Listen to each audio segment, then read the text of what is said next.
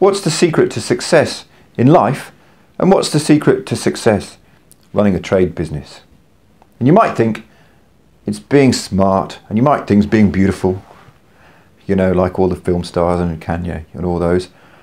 And, and what they found, right, there's been some research done by a woman called Angela Lee Duckworth, a psychologist, to say that it's not those things and it's this other thing called grit. Now, I'm Jon, I'm a business coach, I'm a business coach for tradies. I work with trades business owners who want to grow and scale their trades business and make a business and a future for themselves that they're proud of and, and that they want. And I think this grit is one of the uh, success factors you need to consider. So, what's grit? It's these things it's perseverance for very long term goals, perseverance and passion, they said, for very long term goals. It's stamina, it's staying power, it's sticking with your future for years, day in, day out. It's working hard to make that future a reality for you. It's running life or your business as a marathon and not as a sprint. Now, this was quite funny, I thought. How do you get more grit? The answer is they don't really know. And they were talking in the video, there's a link below if you want to watch the video, they were talking in the video about how to develop it in kids. And I rather thought I would try and translate that into how you can develop it in your role as a business owner, a trades business owner.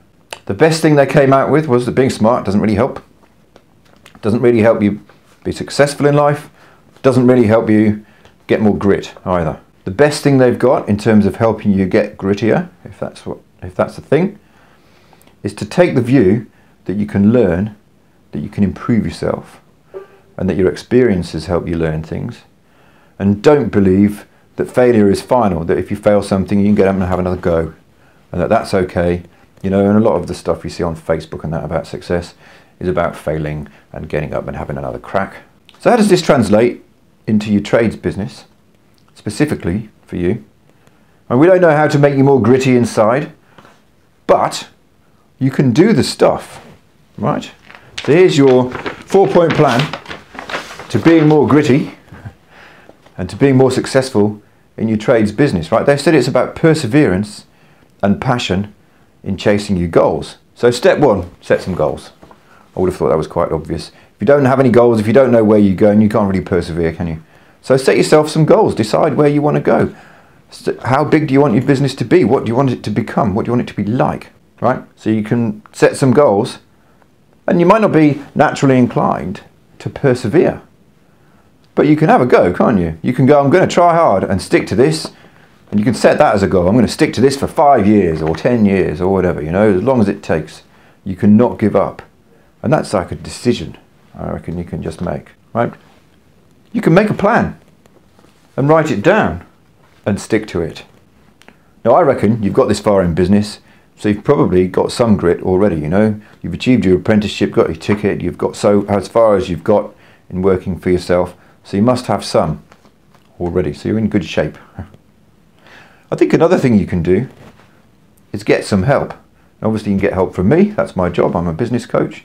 But you can seek help from, you know, your partner, your business partner, your wife, your husband, your mum, and your mates.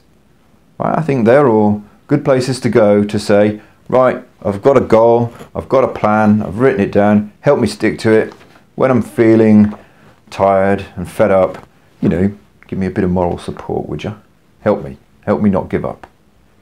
I think it's clear that having some goals helps because it's hard to be passionate and persevere if you don't. I think I just said that.